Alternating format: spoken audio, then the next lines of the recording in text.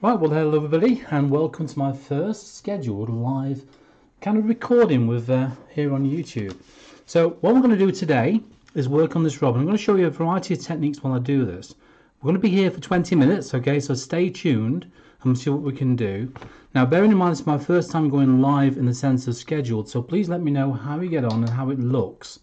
All right, so comments are welcome, please, all around. I think there's about a 30 second delay as well, so bear that in mind obviously while you're uh, watching this. So if I don't reply straight away, you know why, okay? So as I say, I'm going to work on the rob. I'm going to be showing you some of the techniques which I use, which obviously I do on my Patreon site, as you all know. And you find that with some of the techniques I use as well are um, means of layering, the kind of layering the paint as we go along. That's exactly what I'm doing now. Just using a slightly darker colour, a bit of a browny grey colour which is what I'm working on. Okay. Oh, and don't forget, oh, thank you very much for everybody that's subscribed so far. It's very kind of you. Every subscription, you know, just so you don't miss some of my kind of live events on here. Just so you know. Right, I'm going to go to a little bit of raw sienna. That's fairly thick in there, so I'm just going to lightly water it down, just a little bit. Just a little bit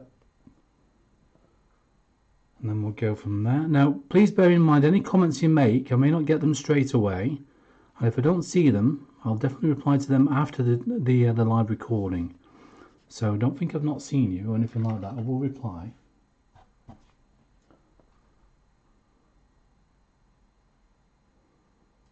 Okay, I'm just having a look to see if there's any chat on there. I can't see anything at the moment, so bear with me a minute.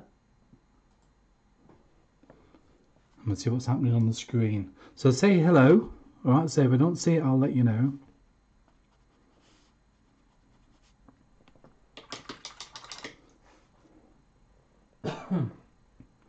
right, okay. So what I want to do, I'm going to work on the legs on this robin as well. So I'll see if I can get a little bit closer for you. And I'm going to move that up so you can just see it on the screen. Hopefully you can see that. So uh, fingers crossed you can. And we'll see how that one looks on the screen. I want to see if there's anybody on board.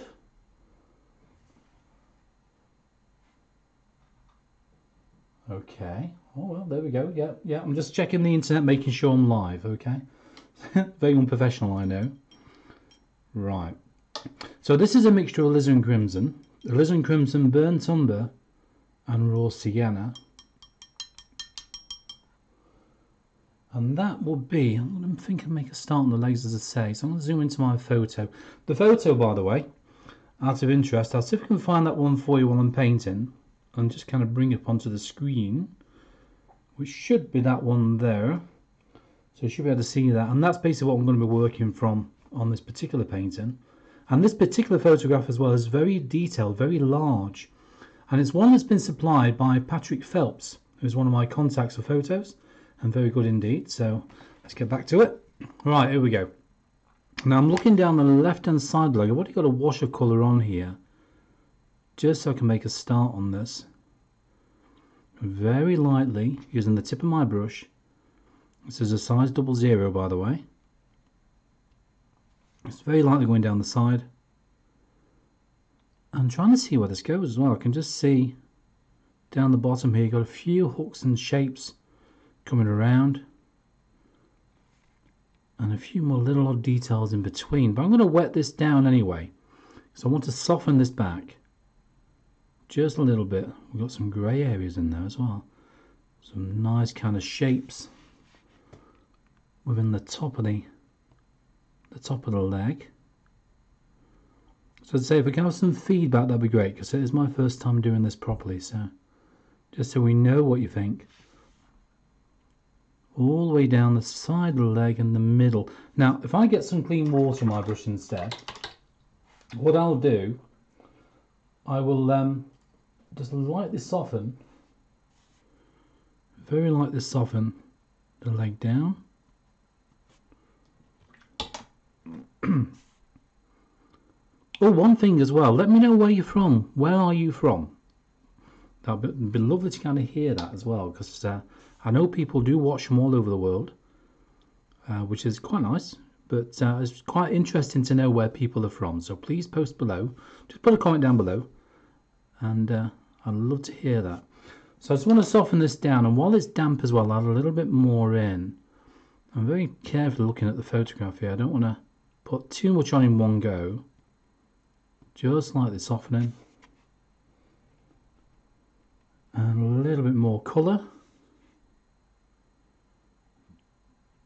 Just a little bit.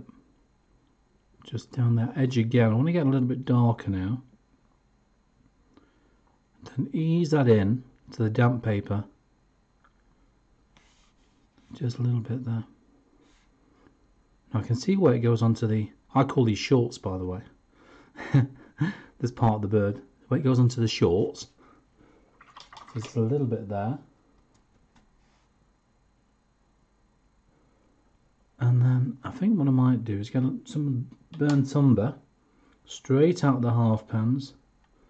Add it to my blacky brown I've already got mixed up. I'm going, add, I'm going to add this just very lightly, barely touching the paper the very tip of the brush. Just the edge of this leg. Just put a slightly darker line down. The thing with watercolours, as well as we all know with watercolours, is that you do need to start off light and work your way to dark as you go along because obviously if you don't do that then I find it's harder to kind of repair any errors that you might make. It's harder if you go too dark too quick. So start off light and then work darker as you go along. Alright so that's so far. Let's see if anybody's on there. Yeah so I've got nine people on there. Say hello I want to know where you're from.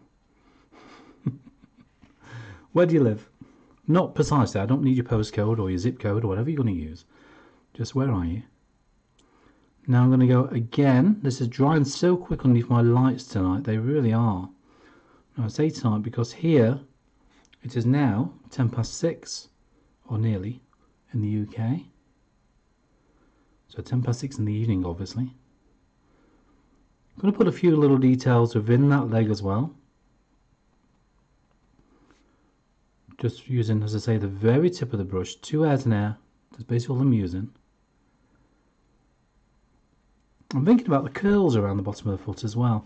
Now, for that, I'm going to go to a little bit more of the raw sienna and add that in just to here and a little bit more around there as well. I'm trying to think of the shape all the time.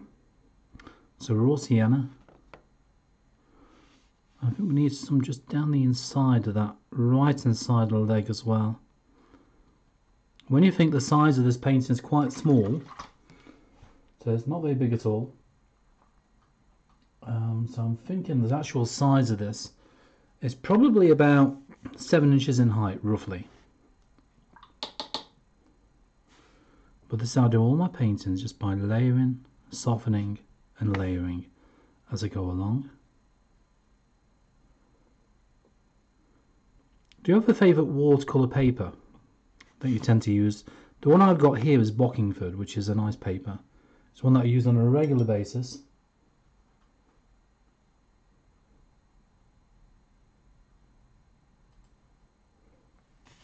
Uh, I'm going to come round to the side of the foot now.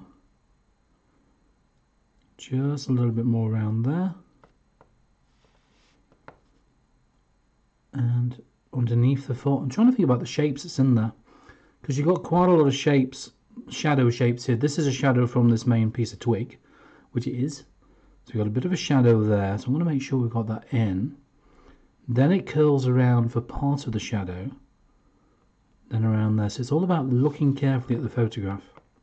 The more you look, the more you will see. So bear that in mind. That That's why I've got a tablet in front of me, which I can't take off the stand at the moment, but it's um, I've got one in front of me which is just a normal basic tablet. So you've got a tablet or an iPad, even a mobile phone. You know, um, a mobile phone works really well as well. Obviously, you can't quite see the detail as big as you as you want to to that degree, but but a tablet is ideal because you can just kind of pinch into the photograph and see all those little details. As long as I say it's a large photo to begin with, because you do need that large photograph to work from. Okay. Now I'm thinking about the shapes. You've got these little sections within the toe as well. So you've got one there, one there, one there. And just a little bit more underneath. So now that's slowly coming together. And believe it or not, it's actually dried already. So I'm going to go back to the alizarin crimson and a bit of the brownie black in there as well. Now, I tend to use black paint. I do, honestly. And the one I tend to use is lamp black. I'm just going to get some, I've got a bit of a run on my brush there, so bear with me a minute. Um, yeah, lamp black is one I tend to use on a regular basis. And it's uh, quite a nice, quite a nice black. Well, I tend to add a colour to it because it can be bland on its own, it can be very flat. And I know that black is one of those things which not everybody likes to use. So a lot of traditional painters will not use black or white. I use both within the painting. Whereas, you know, um, as I say, other people do use it and people use white gouache or gouache, whatever you pronounce it. I tend to use um, watercolor white. And there's a variety of brands on the market as well, by the way, watercolor white. So you want to shop around and see what you can find. So if you do buy watercolor white, if you haven't already got one, that's what I've used on the chest so far on here. You can see it in the palette here as well. When you look at my palette, my mixing palette, there's a little bit just in the center there. You can just about see it on the screen, uh, which I use as a watercolor white. And that one's an opaque white as well. So be careful when you buy white, if you do buy it in watercolor. Some are opaque, some are semi-opaque, some are semi-transparent, some are some are transparent. I know, I know, I know. And it goes on. So um, your choice. So any questions you've got, fire away. And don't forget that even though I'm going live now, this is obviously a live video. I will be reviewing this. This will be saved on YouTube. So any comments you might ask after this has been live, don't worry, I will see those comments. I get notifications about any comments that's come through. And I'll uh, do my best to reply to your questions, okay? Now this will need some white highlights within this leg. But now you can see this is really coming together, starting to, isn't it? I'm looking at just the shapes down the bottom of the foot. It's getting darker as you go around by the by this little twiggy stick. and just around to there. By the way, if you fancy painting a robin, have a look down the bottom corner just there. Look, that's my patreon.com forward slash um, the Devon artist have a look on there and I've got a full video tutorial on how to paint a robin just like this one. So pop along to my patreon page and have a look. There's no cost there's no nothing like that. You don't even have to sign up or anything so just give it a go. I've even put the um, the reference drawing on there the outline drawing so it's all on there. So on my patreon.com website just down below. So I did shake the camera there sorry about that. Right, okay, so now I'm going to go a little bit darker, just underneath the foot here. I'm working on these individual sections within the foot. Just making sure I can pick them out, not pick the claws, but you know what I mean. Just pick them out. And I'm going to outline the claws to begin with. They're not talons, are they, the claws? Talons are on birds of prey and I can always go back in with a highlight in there shortly. I want to darken it slightly anyway, yeah. That's got to go that little bit darker. And this is just one leg. I know it takes a while. But bearing in mind I'm a fine, art, fine artist, can't say the words now. And because of that, I like to work in as fine a detail as, well, as I like to go, really.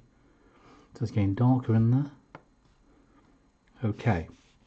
So now let's get even darker. So I'm going to wash the brush out in the dirty and in the clean. And I'm going to go for some blacky blue. Now the blacky blue is lamp black and a little bit of French ultramarine. I think some manufacturers just call it ultramarine, don't they? Okay, so we're working our way down, looking at the underside of this now, which is really dark. This is where we start getting the contrasts. When we get the white paint on there as well, that really makes it zing. It really kind of brings it together. Okay, you got five minutes, guys. So five minutes left, and then so if you have any questions you want to fire at me, say fire them now while I'm on live. If not, as I say, I will check them later on. And just outlining the claw initially. Again, this will be touched up with a little bit of watercolour white. Just showing you the one foot at the moment. I'll do the other one off camera.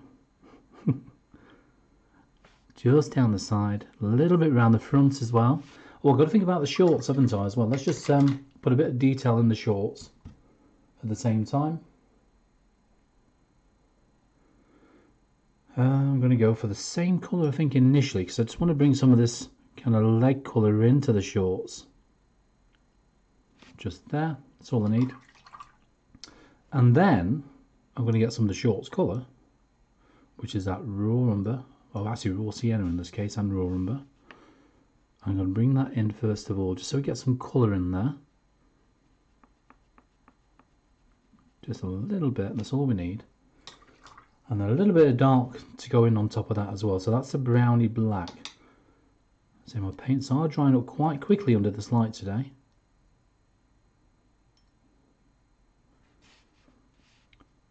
Okay and then bring that one up. What do you find difficult about watercolor? What's your most difficult part don't say everything